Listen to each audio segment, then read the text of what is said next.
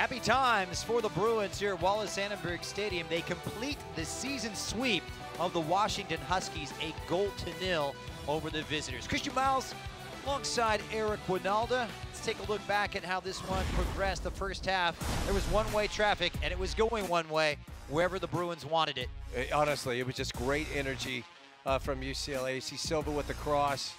And what a save from Fowler. I mean, this is saved off the line by Jones and then a couple of other swipes at it. But this was pretty much the theme of the first half.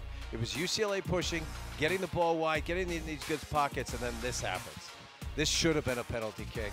Obviously, Nate Jones didn't, didn't know much about it, but you would have thought frustration would have been the theme. That wasn't the case. Fantastic effort, fantastic goal. What a win for UCLA.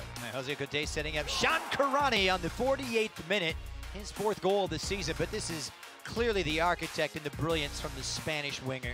Yeah, it was just going to take one moment of, of clarity and quality to, to get the goal. Then the game changed, obviously. There were a few chances on both ends. It did get somewhat physical. Uh, and then, of course, there, there, was an opportunity there that we thought, okay, there, there it is, even it up. Another big save, spills it a bit. A, a, hectic moment for UCLA, but they weathered through it and they figured out a way to get the result. They had their moments of fragility. Eric, look at these numbers. What jumps out at you? Well, I mean, look, I mean, if, if, if we're talking about shots, uh, and we and we say only three shots on goal, you know how many blocks there were? They were on their way to be on target.